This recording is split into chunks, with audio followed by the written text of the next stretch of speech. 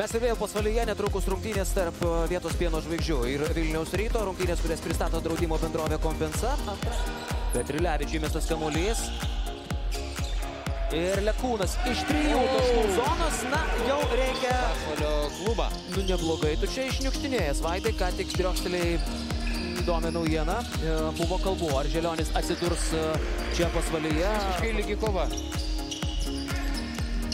Ir dar kartą Lietuvas laisvas. Ir dar vienas tritaškis metimas. O dabar man klausimas... Jis iki tol, na tikrai, blankiai atrodo. O Gaulukas įmeta kamuolį Morisų Induro ir šis sveikinasi su visais. Geras buvo metimas. E, laisvas atakavo Lietkas. Karolis Gedraitis prieš Gauluką žino, kad gali vienas prieš vieną apžaisti. Andrew Gauluką. Ir dar suklysta rytas paskutinėmis sekundėmis Gedraitis. 3 Petrilevičius bet ūgio pranašumą išnaudoja Martynas Sechodas. Gedraitis! Toks įspūdis, kad negirdėjo Vilniaus teisės.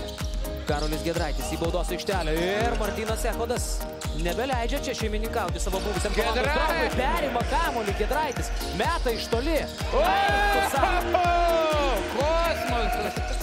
Ne, ne, neturi to minkš, minkšto metimo, ne pirštais, o delnų daugiau. Ir Morisas iš trijų. Aikštės Mažesnį Kai atsilikimą. varžovai išsimetinėja iš užrybio, aikštė visada sustoja.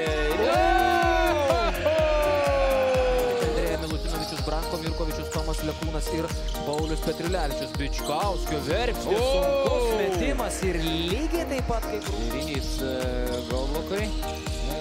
Bičkauskis pasirenka kitą variantą. Ir sudėtingą metimą pataiko Lukas Ulianskas per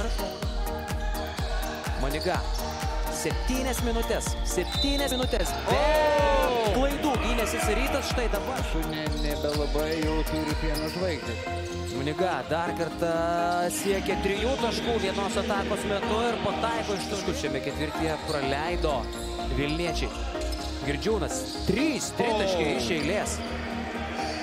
Stengiuosi jų mažiau turėti ir atsisakyti. Kicingas dar kartą iš trijų taškų pagaliau. iš ketvirto karto. Da, dar keli įimai ir būtų pribaigti aikštės šeimininkai. Lekūnas 2 plus 1. Koks minkštas, techniškas metimas. Libanosios Gaudelukui. Taip neparodė didelio noro. Ten Gadlukas Lekūnas! Žaidžia prieš Zigmarą Raimą. Gerai, Gerai. ginasi Zigmaras Raimo. Išprūdo kamuolys Martynų Ekodui. Ir Milut... Milutinovičius iš virš. Mirkovičius prieš jį Girdžiūnas. Milutinovičius per Endūrą. Iš toli yra. Trys taškai. Aštuoni. Nesuvokiama. Tas ryto fiasko. Ir perima kamuolį, Kristinas Taip! Makala, tai yra šansas išlyginti rezultatą. O, ta, ta, ta, ta, ta, ta, ta. 80-79.